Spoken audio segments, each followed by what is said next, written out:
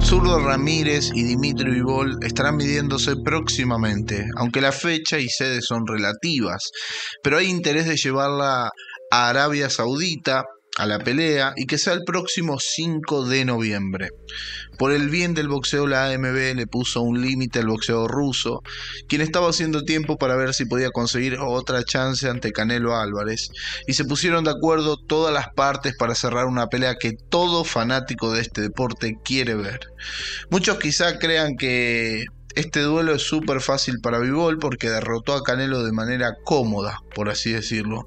Pero no se confundan, amigos. Zurdo Ramírez es alto, tiene una pegada respetable, aguanta golpes, es largo y muy técnico, lo cual pone la balanza 50-50. Todo va a depender del plan que emplee el mexicano. El boxeador de Mazatlán, invicto y ex campeón mundial, se expresó sobre este combate y dijo lo siguiente: Siento que es mi responsabilidad derribarlo, dijo Ramírez a boxingc.com. Haré mi mejor esfuerzo, tomaré ese tiro y tomaré el título. Es una gran oportunidad para mí. Dimitri salió y obtuvo una muy buena victoria contra uno de los mejores peleadores. Ahora lo tengo en la mira y estoy listo para tomar todo lo que tiene.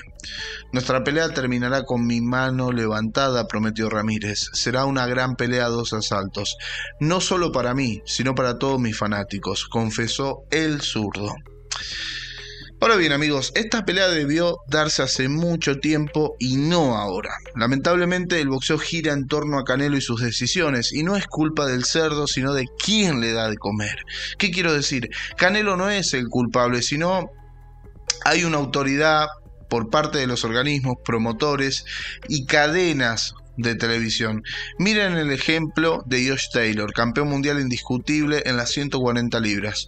Tuvo que ser despojado de todos sus títulos mundiales porque no defendía ante los retadores obligatorios. Ahora miren el ejemplo de Canelo. Perdió, es campeón indiscutible de peso supermediano y nunca se le ordenó defender ante obligatorios.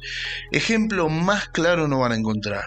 Por otro lado, llevar la pelea a tierras árabes será algo muy complicado una cuestión de mercadeo. ¿Cómo llenas una arena con dos boxeadores que en ese continente no son conocidos? En cambio, si se hace en Los Ángeles, Las Vegas, quizás Nueva York podría ser una buena pelea en cuestión de números.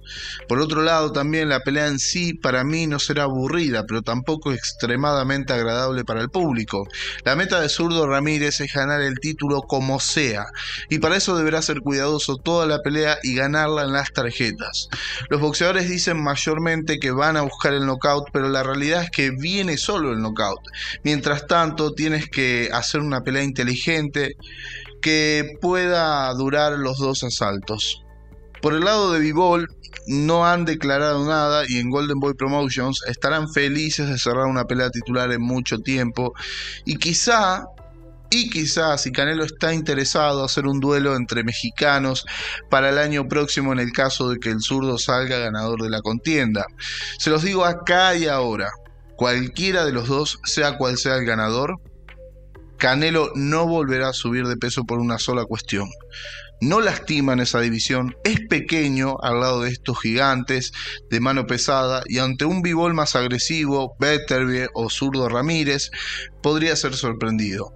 Pero bueno, no me quiero desviar mucho amigos del tema y les pregunto a ustedes, porque todavía no hemos hablado de este combate, ¿qué les parece este duelo entre Dimitri Vivol y Zurdo Ramírez y a quién ven ganador de esta interesantísima contienda? Amigos, si están pensando ir al evento de Canelo Golovkin 3 en Las Vegas y quieren conocer a su boxeador favorito, sea histórico, actual, en la Box Fan Expo podrán acceder a sacarse una foto, llevarse un autógrafo de muchas leyendas y poder ver a los mejores boxeadores de la historia de este deporte, el que te imagines y sueñas conocer.